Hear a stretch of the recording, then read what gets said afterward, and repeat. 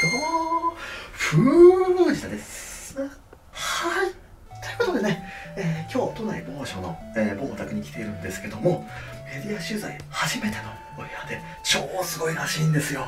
早速見てみましょうか。うお、すげえこれは。なんかぎっしりとゲームやら何やらが全部袋に入ってるし、なんか几帳面な方かもしれないですけど、家主呼んじゃいます？言わなくてこっちやります？藤田さんそれあの泥棒と間違えられちゃあ、って。じゃあ家主呼んじゃいましょう。家主あれ？あら あれ、魚の名人の部屋なんですか、ここ。は。い、どうも、桜田名人です。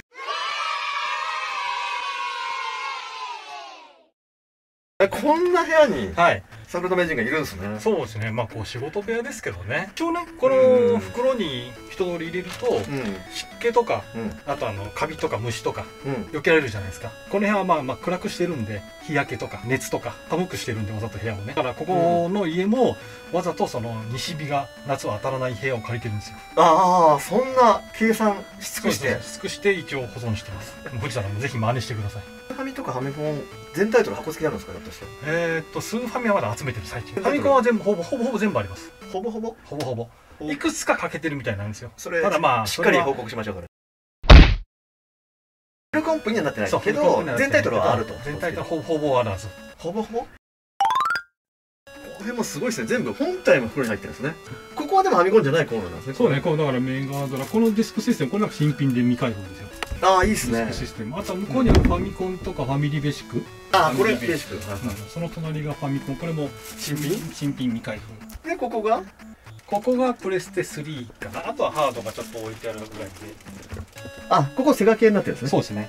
今、ディスクとか、はいディスクカード1枚新品がはい20万、30万とかありえるんですよ。カード1枚で？そう、ゼルダとかリンクとかが。あーはいはいだから本体とかってより少ないじゃないですか。だうん。からもう数十万とかなんですよ。へえ、そんなするんだ。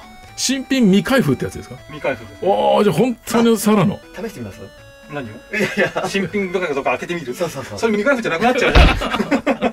藤田さんそれぞれざ大体どれぐらいになりそうですか？その4点新品未開封ディスクとファミコンはまあ、2、30万になるんじゃないですか？230で、パックスパーグループは数万、数2、万3万とかで、ファミリーベーシックでもでも10万以上すると思うんですよね。藤田さんも新品未開封でファミコン本体お持ちじゃないですもんねナイスナイス。はい。欲しいと欲しいと。そうなんだ。え、ここはどういうコーナーなんですか？ここがね、ちょっとあの、はい足りてないとか。どうにか合わせて揃えたいってことですか？そう、そのうちまあ手に入ったら、あの、うニコイチにして。え、なんかそこエロ系があるような気がするんですあこの辺はあんまり映さないでください。この辺 モザイク入れといて。朝方名人の趣味ですね、これね。うんそうそう、俺の趣味だからモザイク入れといて。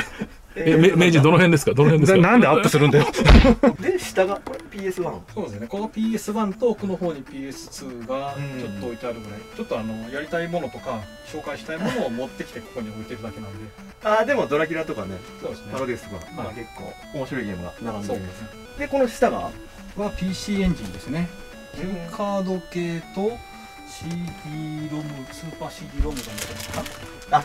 じゃあ、この坂田名人もこれ、なんか、このハドソンのこの番号あるじゃないですか。はいどこが欠けててどういう理由とかっていう理屈を説明できますよね。高橋名人がよく言うやつなんです。そうね、なんかなぜ19番がないとかそういう話？はいはいなんでだろうね。多分、まあたまたまじゃない？そ、そんな感じでしたっけ？え藤田正解は？正解はちょっと覚えてないです。おひで？え名人がなんかの理由で発売が中止になったとかそういう話ですよね。そうですよね。高田名人も多分、なんかどっかに呼ばれると、そういう話すること多いんじゃないですか？そうですね。うん。なので、ハドソン製品はいろいろと、取り出しやすいように。うんアップルド店内になってますね。これは何ですか？これはね、ディスクカードです。あ、なんかディスクカード全部揃ってる。全部、全部ディスクシステムで全部揃ってますけど、マニュアルがね、あったりなかったりとかいう感じなんで、あー、すごいな一応全部、全タイトルは揃ってるはずサ。クルランドとかちょっと見たいですけど。くるくるの説明書が十、十数万で。ね、秋葉原のお店でね、なんかショーケースの中に入って売ってたけど、あの紙1枚に十数万は出せないな。大体ね、ゲームソフトを集めてるのは、そんな無理して買いに行ってるものはほとんどないんで、で、なんか金の力で強引に買うのもないですよね。ないないないないですよね。だから大概そうなんですよ。いくらでも出せるんだったらね。なんかの仲間にしようとしてね。いやいやいやいや。藤田軍団ねそうそう、藤田軍団に入ってもらいうやいやいや、はいない。どっちかというとミュージングなんだけど。これディスクとはい。ファミコンのまあほぼコンプじゃないですかほぼコンプ。これどのくらいお金使ってるんですか？集め始めたのってもう10年ぐらい経つんでまあそんな高くない時そうそう今みたいに高騰してるんじゃなくてどちらかというと今ほら PS2 とかあとサターンとかのソフトってすごく底値じゃないですか。なのでそういった感じの頃にファミコンとかも俺買ってるんで。じゃあ箱付きも多分2300万ぐらいじゃないですか。そんなことないですか？そうだね。多分そうかな。いい時に。確かに値段が1本1万円とかするやつも当時はまず1000円2000円ぐらいで買えた？世間がそうだったからだからそう先見の目がない人はね売っちゃったんですよねだってね。ああそううんですね。先見の目がない残したっていうのは先見の目があるんですよ。あご自分が先見の目が山ほどあるっていうことを言いたいわけで。もちろんもちろん。他の名人も、まあ、どちらかといえばこちら寄りの人ですよね、うんまあ投資目的じゃないからねそもそもだけどね。遊ぶ目的だから。で坂田名人ディスクの中でじゃあ一番思い入れがあるやつはどれなんですやっぱメトロイドにしよう。スターソルジャーの全曲キャラバン回ってる時にスターソルジャーやってたんだけどか、はい。キャラバンで使ってたゲーム機がディスクシステムだったんですよ。だからツインファミコンだったんですよ。だから1台借りてって、うん。ホテルでうん。メトロイドちょうど発売されてたんでメトロイドやって。えキャラバン中にスタソロやんなきゃいけないの？に、うん、いやうんスタソル全然やらないで。ホテルでずーっとあのホテルのテレビでメトロイド一生懸命クリアしててキャラバンでねあのラザロで失敗するというね。えマジで？僕ね坂田名人もやっぱ努力の人だと思ってて、う偉そうですけど。かなり上から来た。どっかどっから言ってんすか藤田いさん。やいやどっかで披露するとなるとすごい、ね、仕上げてくるんですよ。逆普段からね、うん。うまいからさ。こ れ同じような人に見えてますかあねやめよう。やめよう。ちょっとあの明治のイメージがね。やめよ高橋名人の師匠にゲームのイベントやるときに呼ばれてうはい。あの桜田スーパーマリオをあのノーミスで最後までクリアしろっていうオーダーが来てまあしょうがないから家で一生懸命練習して新宿のイベントで見せたりとか、うんうんうんテレビ局の人からねあのこ一発やるとかね。そうこの間も急にスタソルやれって言われてさ全カットだよこの間。全カットっすか？全カットダイジェストもなく。ダイジェストも厳しいな。ちゃんと34万点ぐらい出したんだけど。名人に8万点ボーナス2個ぐらい伸ばしましたそう伸ばして。うん。4万点ぐらいしかなかった藤田さんなんでカットになったと思います？すごいプレーは望まれてなかったんじゃないですかその番組は。やらせといてね。そういや多分ね分かんなかったなと思う凄さが。俺だってあの時一緒にいたじゃないですか。すげえすげえ言ったじゃないですかマジで。いたっけ？違う違う。そうそういうの大丈あそう。夫俺本当に褒めてたじゃないですか、うん。だってそういうのよく分かってるから、はいこのゲームまで一発勝負って超きついこと分かってるから、でねそういうの分かんないですもんね。分かんない。あのディレクター若かったからさ。若いんですよ。若いから。30ぐらいですよ知らないんだと思うんですよそのスターソルジャーがどれだけきつくてそう。どう何点いけばいいかっていうのが。こちらはファミカセの箱付き。ファミコン。あはいファミコンですねあでもなんかいきなりこの、ナムコのこのハードケース版ね、はいこれも集めるつもりで集めたんじゃないけどたまたま手に入ったんでっていう感じですね。今だっけな1980円か980円で売ってたんですよ、うん。吉祥寺で、うん。とか下北沢とかで、はいはい。これ今お高いんですよ。どれぐらいですか？1個45万ですね。1個45万？こはいはい。C とかが全部使ってなきゃまた高かったりする。はいはい。そうなんなんこれはねあクー？フカンフーだああこれ C1 だな。なんか自分のサインがついてるけど。C1 ー用のドンキーコングジュニアのやつとこれなんだ？ろうあこれデビルワールドのあれ、あのラベル違い。だから別々に用意してそうそう箱説はないですね。なないです。僕もねああるんだ。あるけどなんかすげえ大破した。ああ破れちゃってる。しかないんですよね。それでも結構45万しましたからね。あそうなんだ。これもまあ貴重なもんですねまあ私はもう普通のただの普通のスパルタン X があるからそれでいいやと思ってる そのレベルなんで。思っててこれ押さえてるじゃないですか。うんまあこれはねたまたまなんかこれ違うなっていうのが手に入ったんで。ああなるほど。これなんでそうなったんですか？スパルタン X かそう出し直したんですか？これはっきりしてましたっけいやこれあの多分半券切れですね。あ最初スパルタン X ってこれあのジャッキー・チェンかなんかの映画ですよね。あありましたね映画ね。ううん。それの任天堂の使用期間が切れたからその後にタイトルをカンフーに変えて出したって感じですかね一番高いの？スノブラ？あそうなんですよ。スノブラとかラとか？ケースに入ってるから多分高いやつだと思うけど、あ本当だ。さらにケース入れてる。ん。だ、ちゃんとケースに入れてあるこれ両方とも20万ぐらいするんじゃないですか？坂田名人パーマン2何色ですか？カセットの色ですよ。色当てクイズですよ。あカセットの色？はい。パーマン2でしょ？はい。うーん。なんとなく赤っぽいような気もするけど違うのかな。惜しいけどオレンジですね。ああ惜しい。はい。藤田さんな 何ちょこちょこさぶっ込んでますか？なんかそのマウントを取りたがってる感じがして。これで外れてたら面白いんだけどな。藤田さんなもう一回何色でした？っけ藤田さん。オレンジオレンジ。オレンジ。桜田名人は赤って言いましたからね。ああオレンジだ。決まりました。確かにオレンジだ。パーマン1はじゃあ青です。青。色当てクイズ僕ね王者なんでね今のところね。あティートップもありますねこの。青だね。あそうそうそう高いやつですよねこの辺みんなね。そうそうそう超高いですよ。非常にも出てこないやつもあって。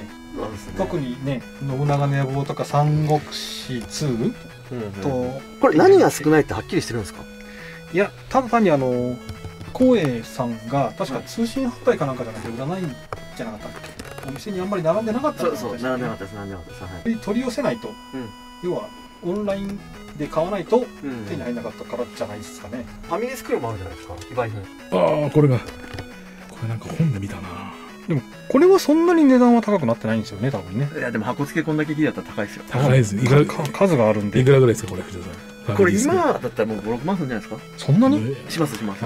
箱説ないと4 5千円なんですよ。あこの綺麗な箱ってなかなかないと思うんで、うん。じゃあ相当お宝なんですね。さっきからね。普通にあるけど、これもともと坂田さんお持ちだったんですか？やっぱその技術的な調べたりこ個人的にお持ちだった。それとも何かきっかけでよしもう一回一から集めようみたいな感じで集められたんですか？あー最初はやっぱりあのハドソンの仕事関係が結構来るんで、ハドソンを全部まあこれ辺か、えー、ロードランドナッツミルクから中箱大箱全部集めたんですよ。最初からナナムコのソフトは結構いろいろ持ってたんでだったらナムコも全部集めようかなって集め始めたら、えー全部下の。ハードケースまでナムコ全部集めちゃってメーカー単位で揃えていったら収集がつかなくなりまして、もともとだってゲーム好きですもんね。それはもうつまりそのハドソンにいらっしゃった時代から集めてたみたいな。あいやいや全然全然。あ違うんですね。ハドソン時代はもうあの中身のカセットだけやって箱は破いて捨てるような人だったんで。あそうなんですか？もう全然。あもう全然。あじゃあその時のコレクションじゃなくて新たに買い直したコレクションみたいな。だからもうそれから20年30年経ってまあ楽しくなってきちゃって懐かしいものを集めるのが好きになって。まあでもやっぱ魚名人といえばこのハドソンさんのやつを持って行って現場で思い入れを話すとか多いじゃないですか、はいはい。っていうところ始まったんですよね。そうですね、うんまあ、特に初期の頃のやつですね。ボンバーマンとかね。ああじゃあもちろんこの辺のドラえもん私も関わってますんで、あそうなんだ。はい、スタッフロールに自分の名前も出てきたりしますんで。これすごいですよね。オリジナルの曲を使ってないけどなんかいい感じになってる。ああそうですね。そこはかとなくドラえもんに似てる曲を作って。全部ピタッと合うんですよ本当にね、うん版権料が払えないんで、うん。ジャスラックさんの方の問題があるってことで。あそういうことなんですか？その容量とかじゃなくてお金の問題で。で何小節かまでは、えー、と版権的に使えるのでそこを部分部分を入れてってそれかとなく似てる。なんか違和感なかったですもんね。そうですね、うん。高橋名人の冒険島っていうのもすげえ綺麗な状態で全部あるんですよね多分。これも冒険島も結構いろいろ問題があってね。名人のこの帯が入ってるんじゃないですかリボンが。なんでここにこのリボンがあると思います？これこれ何でしたっけ？わかんない。忘れた。なんか隠キャラの顔隠してるかなんかですか？違う。あまあそうなんですよ。なんか。ほぼほぼほぼ正解です。あすいません。ここにいるあのこの女性のあの下半身がすごくセクシーなデザインなんですよこれ。溜まっている女の子うんうん。のこの下半身が実に生めかしいので加藤さんの社長があのこれは子供には良くないだろうということで隠せと自主規制みたいなことですか？そうですそうです。うん。で高橋名人がこのデザイン実際自分でやってたんですけどこのリボンを入れて隠せばいいんじゃないかみたいな形になってこの不自然なリボンが入ってるんですよ。あ言われればなんか。え俺全然すげえ見てんだけど忘れてる。だ 神風ではい。魚名人が一番思い入れがあるやつはどうですか？それはやっぱり自分がねハドソンに関わったソフトだから結構あるんだけど、違うんですね。違う。スタソルではないんですねスタソルじゃないかな。ななんですかなんですか気になるんですけど。いややっぱり私は一番最初のドンキーコングじゃないですかね。これがすごかったですよね。やっぱりそうあの、うん。私はあのファミリーコンピューターが発売された日に本体買ってるんですよ。それまでは確かに家庭用ゲーム機で出てたんだけどみんなドットがでかかったりとかそうそう画面が荒かったりとか、うん操作やりづらいとかあったんだけどファミコンはやっぱり画面がすごい綺麗だった。もうかっこいいでしょうね。はい。散々ゲームセンターで遊んでたドンキーコングが家でもできると。その時の衝撃ったら、もうファミコンソフトはもう全て外れがないもんだという感じで買ってましたからその後も、そうですね。初期の任天堂さんタイトルとかね。タイトル本当に外れなかったし、うん、ナムコさんタイトルもギャラクシアンパックマンゼビウスでしょ、うんうんハドソンもロードランナーナッツミルク出して。うんうんうん。この頃のドンキーコングって筐体買う人間もいましたからね、それほどドンキーコングが人気だった。と持ってました筐体。嘘。テーブル筐体で。任天堂の鉄のすごく重たい筐体任天堂のああそうか。鉄製なんですよ。テーブル筐体ね。買ったんですかそれ？うんあの家にありました買って。でそれ70万80万しますよね。いやあの近くのねあの知り合いの喫茶店の人から安く譲ってもらったんですよ。3万円ぐらいかな。あ そんな安い。その喫茶店の人がもう喫茶店でいらなくなって新しいゲーム機入れるからああちょっと時間経ってからですね。そうそうそう、ん。当時、えっと、私が中学生かな。月のお小遣いが3000円だったんですよ。3000円のローンの10回払いでお願いして、学生時代に筐体があったんですね、はい、家にありました。ただあの悪い友達がいっぱい集まりましたね あいつの家にドンキーコングのテーブル拠点あるぞっつってみんな集まってきてそこで友達が増えたってのもだってありましたけどねまあ友達ができた感じになりますよね。友達じゃないんですけどそうそうはい。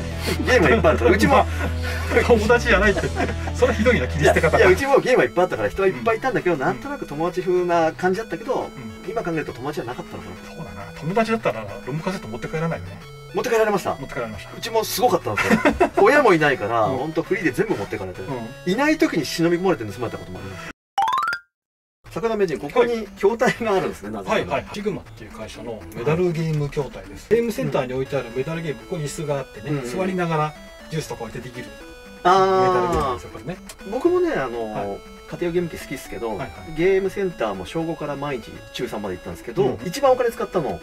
シグマさんとかのポーカーゲーム、おお小学生ながらその1日で10万とか使ってましたから。ねなんで持ってんだよそんだけおかしいって。あのずっとあのメダルファクトリーっていうあのメダルゲームのサイトやっててはい。ホームページやってて、うん。そこでいろんなあのメダルゲームを全部紹介してたんですよ。そしたらそのそのマニュアルをゲームセンターの人がぜひ印刷して使わせてくれって言ってゲームセンターの筐体の横に私のホームページに印刷したものが置いてあるような状況まで行ってたんですよもうだから資料も全部残ってますよ、8年代90年代ってネットで検索しても出てこなかったりするものもあるんですよね、このなんかひな何台っていうんですかこの斜めのやつ？これが、えっとミッドスラントってやつです。ミッドスラントはい縦型のやつが HDWD 筐体っていうやつがあって、た縦に長いやつね、あはとこういうテーブルっていうかミッドスラントという形のものと2種類あるんですよ。い、うんうんうん。だから僕多分ね小さい頃100万以上使ってますもん。うんポーカーとかに、多分私もう一桁いってるかもしれない。えええ小さい頃？小さい頃っていうかゲームセンターではね。じゃないです。えまあそういうことです。メダルゲームにはてか形のものかな。メダルゲームには本当に毎月何十万も使ってるですよね。だからちょっとまあ経済力が違ったんですよ。年の差で。そうそう そう、必ず対抗するのな、な、藤田さん。いいじゃないですか。名人の方が使ってたとしたって、お金は。どうにかマウント取ろうとそう、もう、絶対そこは引かないみたいな。あれなんですか、ゲーム好きって負けず嫌いなんですかね。二人で延々と、いやいや、俺も、いや、こっちだって、みたいな。もうマウントとの取り合いでやっててねここにあるのは？こっちがですね、はいえーっと一番下から64ですね一方が DS あすごい幅広く集めてますね 3DS とアドバンスゲームボーイゲームボーイカラーあとは PSP と Wii と後ろに多分 WiiU が全部これ後ろまで詰まってるんで。本当だ。え Wii とか WiiU とかも思い入れあるんですか？ありますよ。だってあのオンタイムでやってますから普通にで最近買ったやつはこの辺にあってうん。昔買ったやつっていうかちょっと前々から買ったやつはここの仕入れに入ってるんですけど 仕入れがねもうこの上の段が指ですかね。ここ全部スーファミですか？全部スーファミです。奥までぎっしりで。うんで今この手前に見える一列が、うんうん。えー、と2列3列目があるんですよ。スーファミも全部揃えようとしてるんですか？それをとしてます今全体取りで2000ぐらいでしたっけ？スーファミうんと1700だっけなそれぐらいだっけな、うん。どどのくらいまで来てるんですか？今あと100か150ぐらい。今あの俺安い方から攻めてって、はい。で今上のね今富士山で言ったら9合目まで登ってるんだけどその先がねもう崖なんですよ。持ってるんですか？高いんですよみんな。1本まあ最低でも1万円でうん。高いのだと20万とかなんかその辺までいっちゃうようなやつばっかりなんで、パワーロードランナーとかただこれっていつかデータ消えちゃうからね、ちょっと怖いんですけどね。こっちのいあの普通のロムは焼き付けてあるから消えないんですよ。これがあの書き換え可能なロムだから消えるんですよ。ほとんどもう今すでにやばい状態のはずなんですよ。こういう保存がそうするといいんですか？その消える対策含めて。消えるのはどうしようもないです。うん。もうこればっかりあの CD なんかもそうじゃないですか。だんだんバンが中の鉄鉄が酸化しちゃって読めなくなって CD タイトルはもうできなくなっちゃう。ただロムもまだ丈夫。まあ任天堂の製品丈夫なんで丈夫なんだけどただこれの関してはフラッシュロムに関してはうん。もうあの消えちゃう。えここは何なんですか？次はこの上の段は、えっとはい。あれです小物ですね。あ本当だ任天堂のあの古いやつですよね？そうですそうです。80? うん。69 69年。69年。なんですあかの男男の人と女の人が要はテスターなんですよ。端っこを握りしめると中のメーターがこう触れてええでそのメーターの触れる量によってあの愛情があるかどうかを測るっていうあの、うん。機械なんですけどそれの初期版の箱説付きのやつですねこれ。貴重であること確かです。カラーがまた全部ファミコンですね。一番見つけるのに苦労したやつは何なんですか？一番苦労したやつ？なんか揃えていくうちにこれないなってなっててどうしてもこれないってなるじゃないですか最後の本。えっと囲碁メーカーとか囲碁指南94とかああ90あれああの辺り。れあれも確かどっかのお店で見つけたな。これか。ここれだよね。イあボメーカーってね藤田さんと違いますね全はい然クレジクライム。あ、ここれがね、ちょっと長いんですよね。長くて、スティックが入ってるから別保管ってことですよね。そうですね。この辺のやつは全部でかいやつが入っていって。いないで終わるのが嫌なんですよ、やっぱね。やいやたまたま出てきたからよ あ、なそのジャジャマルは何ですか？バージョン違い。これバほらージョンじゃないジャジャマルの大冒険って水色じゃないですか？水色と紫があるってこと？ですね。そうそうそう。はいえ水色はないんですか、ひょっとして？また合わなくていいですよ。すいません。ね合わない。これこれ最後にしましょう。めんどくせえな。これ最後藤田さん人には厳しいな。あったじゃねこうえー、っあった。ああ素晴らしい。あー、出ました。すいまさすがせんね。とはいありましたありました。がはい。あとほら LED なしもありましたあ、あすごいすい。ごいすごいすごい出た噂のこれ超やばいですよ。ねやばいですねあしかも1個どころが全種類？はい。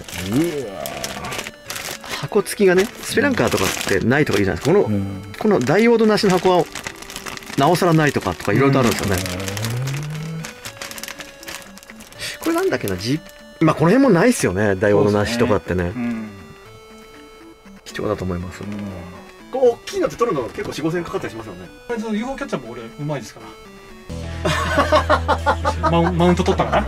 マウント取ったかな？同じような感じじゃないですか、僕と。うんマウント取ったかな？あれなんか若干同じ匂いしますね名人も。なんか通ずるものがあるの。なんかうん。この看板も貴重なんですよね。あそうですね。これはあのすごいですねそれすごい、電動の専用の販売店で置かれてたやつですね。あ、で、最近のポスターも押さえてるところが、やっぱ偉いですね。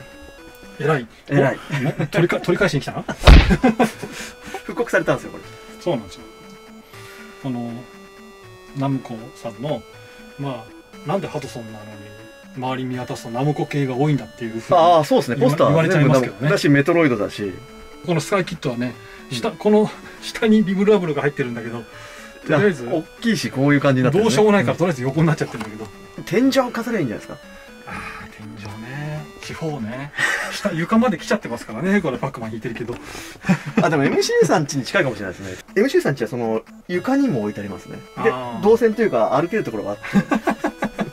まだ床がデッドスペースになってるんですね。それ歩けないところが藤田さんの家ですもんねまあ僕しか歩けないってことですね。うんえ、ちょっと待って。こ のお尻の下っていうのはもう出せないってことですか？これが置いちゃってるじゃないですか。ああもうほほぼ出せないですあ、これうちに近いですね。